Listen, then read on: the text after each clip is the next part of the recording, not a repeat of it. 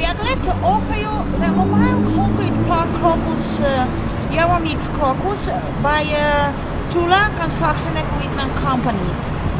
The mobile concrete plant is designed to make uh, mortars, uh, concretes of different densities uh, in automatic mode according to preset formulas.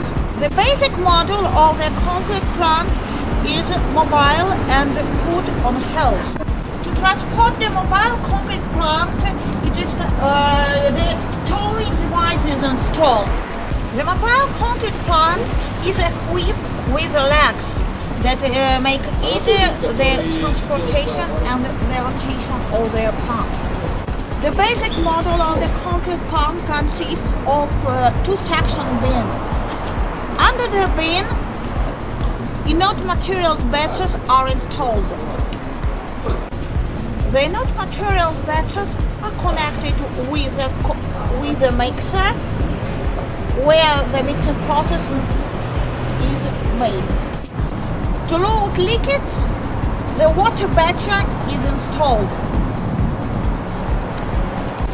To load inert materials, two belt conveyors are installed.